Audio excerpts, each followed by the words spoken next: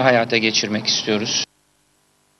Türkiye Kalite Derneği Bursa Şubesi'nde genel kurul yapıldı. Genel kurulda mevcut başkan Erdal Elbay üyelerinden tam destek alarak yeniden başkan oldu. Elbay'ın yeni dönemdeki hedefleri ise büyük.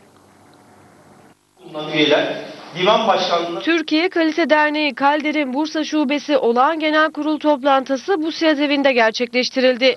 konuşmalarını hazırlarlarken Kalder Yönetim Kurulu Başkanı Hamdi Doğan'ın da katıldığı genel kurulda Erdal Elbay tek listeyle gidilen seçimde yeniden seçilerek güven tazeledi. Bu sene e, normal hizmetlerimizin yanında yani kurumlara mükemmellik yolculuğundaki e, kılavuzluk görevimizin yanında bir merkez kavuşturmak istiyoruz. Kalderevi.